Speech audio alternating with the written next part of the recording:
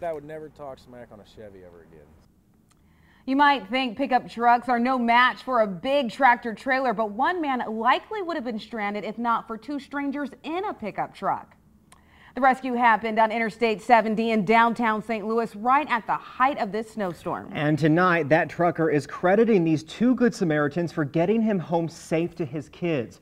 Five on your side's Rico Bush. He is live downtown tonight. And Rico, these two, they just reunited with that trucker tonight.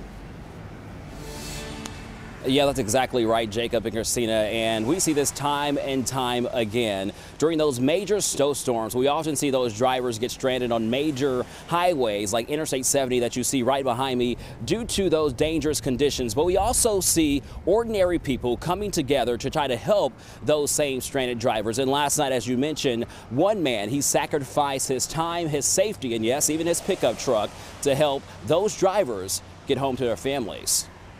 I think it's incredible when you know um, everybody in the same industry can come together and, and make things happen just to get everybody home.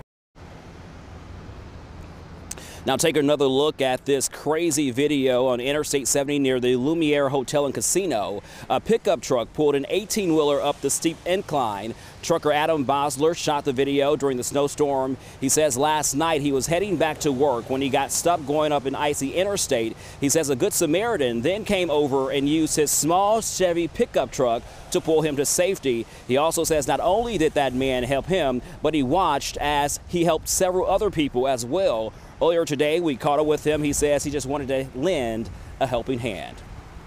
I like to help people, and for that reason, I did just to open the roads as soon as possible and everybody to go home and safe.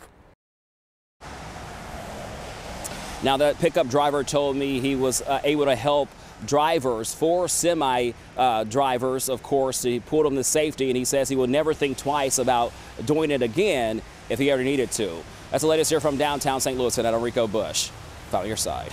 Mighty brave of him. Glad it worked out. Rico, live downtown. Thank you so much.